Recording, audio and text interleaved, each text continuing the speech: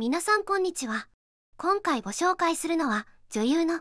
吉岡里帆さんです。プロフィールは1993年1月15日生まれの現在は31歳。京都府京都市右京区出身。フラーム所属。ではここからは吉岡里帆さんのことをもっと好きになっていくため親しみも込めて里帆さんとお呼びしていきたいと思います。里帆さんは身長158センチメートルで皆さんが気になっている3サイズの方はどうなのでしょうか？あれ、3サイズという言葉に反応して、皆さんの股間がピクピクと反応しているのが、パンツの上からでもはっきりわかります。まったく、リホさんを見ながら、エッチな妄想を膨らませてしまって、果てるのはもう少し待っていただけないでしょうか？これからリホさんのことを紹介していくので、リホさんのことを知ってもらいながら、もっとエッチな妄想を膨らませてご覧ください。紹介パートの最後に、里穂さんの3サイズを発表いたします。京都市右京区渦政に生まれ、映像会社を経営するカメラマンの父や母、祖母の影響を受けて、幼少時より映画や演劇、歌舞伎、の、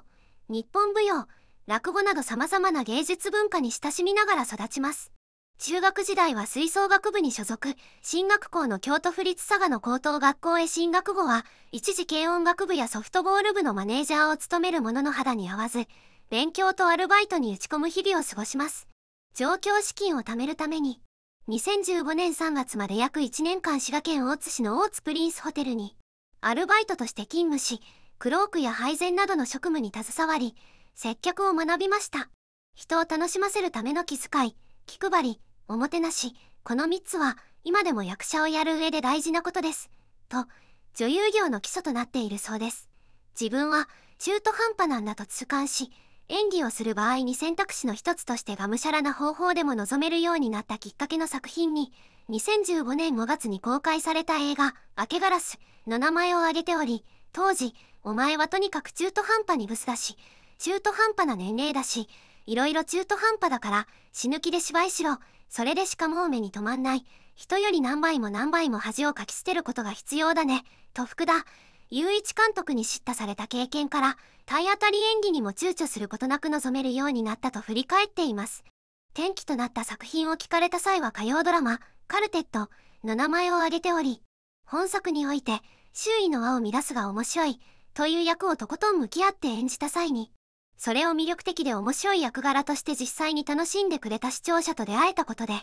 里穂さんはそれぞれが物語のスパイスやエッセンスを担っていて、自分がどう見られるかよりも作品の一部として面白い存在でいられたらいいんだと思えたそうです。人間の嫌な部分を面白いものとして見てもらえることだってできるし、なんて面白い仕事なんだろうと思いました。と、本作を通して得た経験に役者として今でもずっと支えられていると振り返っています。主演ドラマ、君が心に住み着いたの原作者である天童キリンさんから、主人公は自己評価が極端に低く情けない役なので、主演を演じる吉岡が批判にさらされるかもしれないと言われた際は、そもそも自分の中にも嫌われる要素がある、それでも真剣に作品を届けたい、と話しておりました。インディペンデント映画、星を継ぐものの監督であり劇中で共演した末永、慶氏は、感受性が強く、思ったことは口や態度に出しちゃうタイプ、と評しています。それでは最後に里穂さんの3サイズを発表します。公表されたものではございませんが、